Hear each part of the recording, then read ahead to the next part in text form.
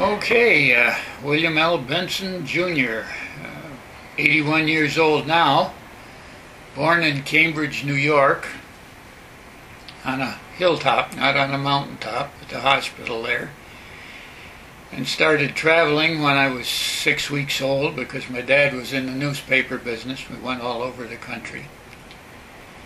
Then later on, after the Depression and everything, we settled in Buffalo, New York. Another interesting thing happened in training.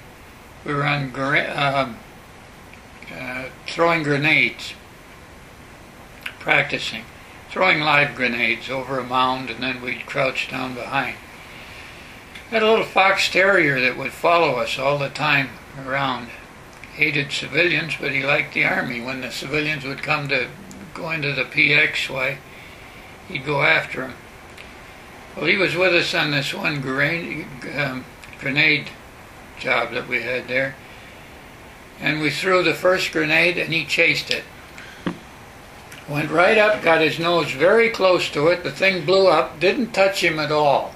The shrapnel and stuff must have gone right over his head or something. He came back shaking his head, but he didn't chase another one. you say when you're, this is just, I'll interject this stuff on and off because I just think about it.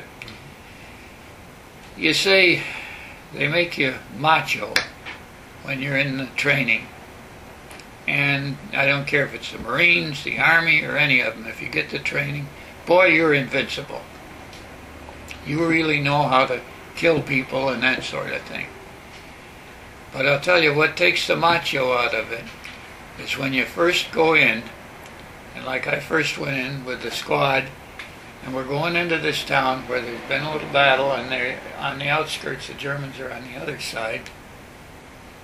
We're going in, and we round the corner of a building, and there's a Jeep with a GI laying off the side, laying over the side of it, and two GIs laying on the ground. And that takes the macho right out of you.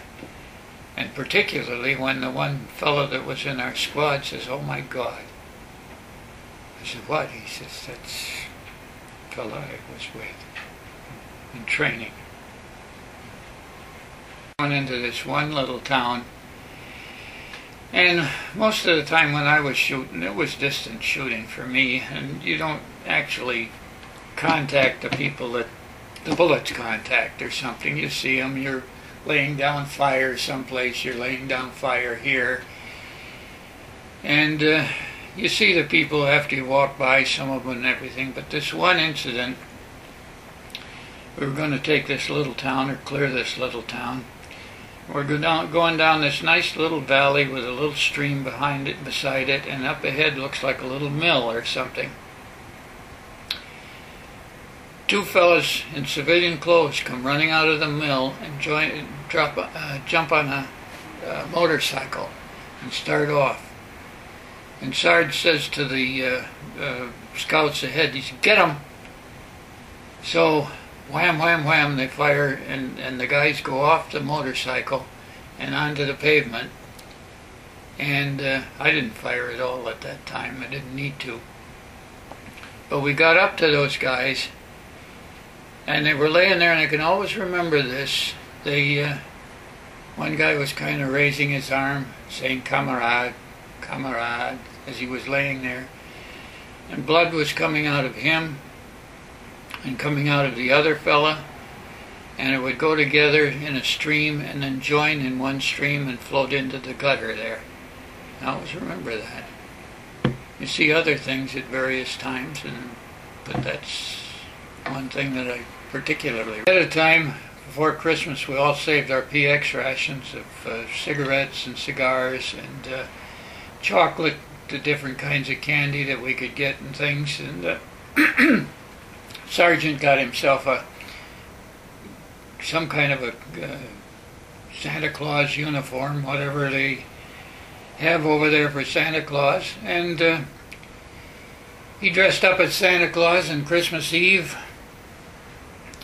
we invited all the kids from the village, which weren't many, and all the grown-ups there, and we gave out presents of chocolate and everything, and they sang uh, German Christmas or Austrian and German Christmas carols. It was a Christmas that I remember most in my life, and uh, had a real tree inside with the candles on it in there. It was good.